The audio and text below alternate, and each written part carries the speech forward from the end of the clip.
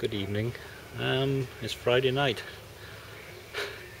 Uh, 25 was the temperature today, and the Wi-Fi is back up and working. Now I know how people in um, the Central Massif in France feel when they haven't got their connectivity. Anyway, um, I'm sheltering from the sun.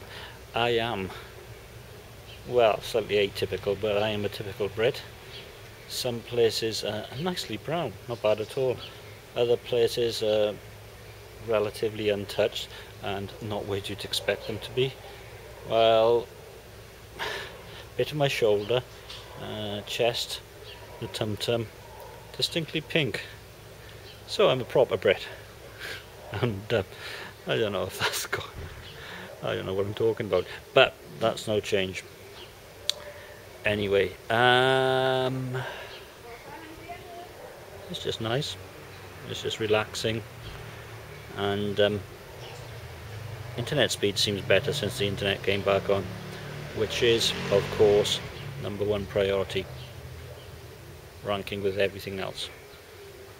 Thank you 1986 for that one. Anyway, no editing, this can go straight up. Bye bye.